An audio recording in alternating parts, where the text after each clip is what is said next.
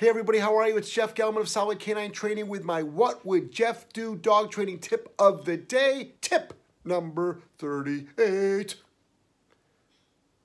Ignore the behavior, it'll go away. No, that's wrong. I keep hearing over and over and over again from, you know, out in internet world and dog trainer world and everything. They're telling people if you ignore the dog's bad behavior, the bad behavior will go away. When the dog's dead, it will. But other than that, it ain't going anywhere. Remember, the lack of no is yes. Always remember that. Bad behaviors don't go away by ignoring them. Or only reward what you like and ignore what you don't like. And then the dog will want to like do more of the good stuff.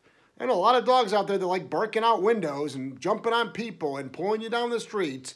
Nope. Never ignore bad behavior. The lack of no is yes. Jeff Gellman, Solid Canine Training. What would Jeff do?